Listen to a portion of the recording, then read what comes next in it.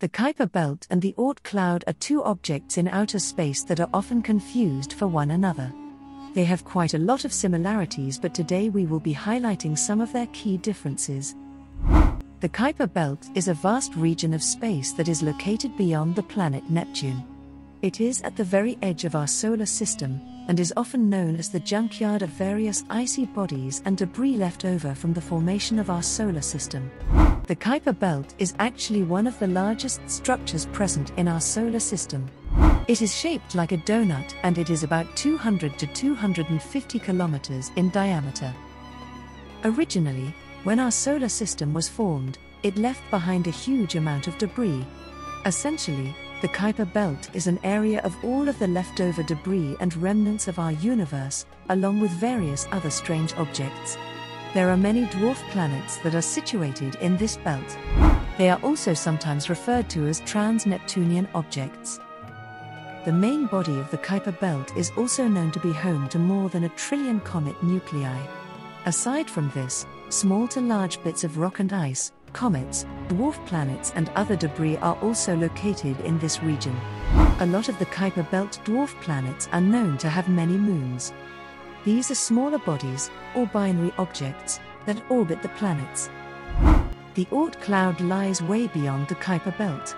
It is the most distant region of our solar system and is located beyond the dwarf planet Pluto. It is like a spherical shell filled with icy objects of space debris. Unlike the Kuiper belt, the Oort cloud surrounds the Sun. There is no real number to the amount of objects that are present in the Oort cloud, as they could range from billions to trillions. How was the Oort cloud formed? When all our solar system was formed around 4.6 billion years ago, they left behind huge chunks known as planetesimals. Planetesimals are made up of the same stuff our planets are made of. Due to gravity, many of the planetesimals were scattered all across the solar system. Most of them primarily settled beyond Pluto, and this region is now known as the Oort cloud. There are billions of comets and icy giants that reside in the Oort cloud. So, how do we differentiate between the Oort cloud and the Kuiper belt? Firstly, they have completely different shapes. The Oort cloud has a spherical shaped appearance, whereas the Kuiper belt is more disc shaped. It is easy to tell them apart just by looking at them. We know that the Kuiper belt is located beyond Neptune and the Oort cloud is way beyond the dwarf planet Pluto.